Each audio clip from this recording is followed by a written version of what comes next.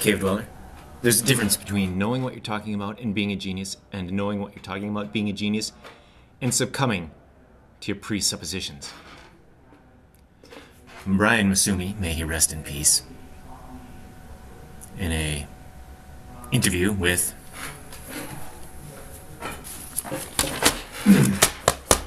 interview with Mary Zournazi a while back.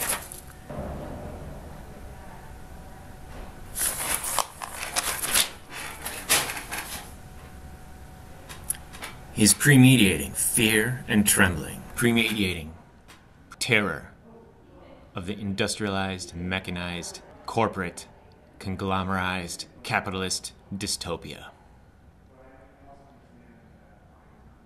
By speaking in terms of control and lack of control, he is setting those who feel disempowered against those who have the perceived power, who are giant corporations, who are persons legally, but are not actually persons. They're giant bureaucracies, and as we all know, bureaucracies are a spiritual force.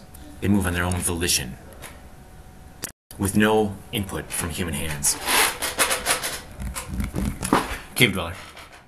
If we're speaking in terms of them versus us, we'll never get around to solving any problem that exists on this planet, which is Earth, not Vulcan.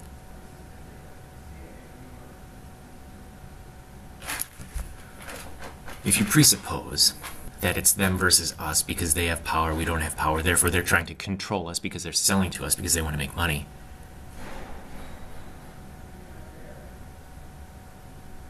You're pre-mediating yourself into disempowerment.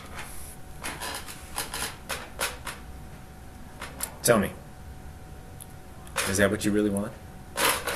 Do you really want to have no power? Because if you don't, then stop talking like you have no power. Stop telling the world that it's us versus them.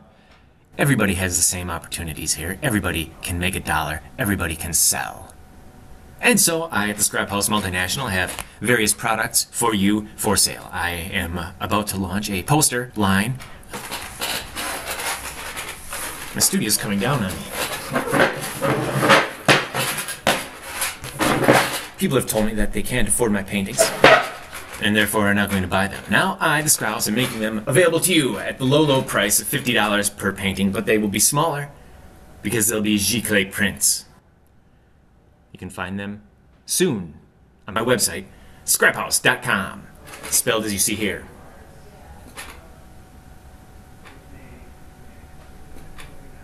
Cave Dweller.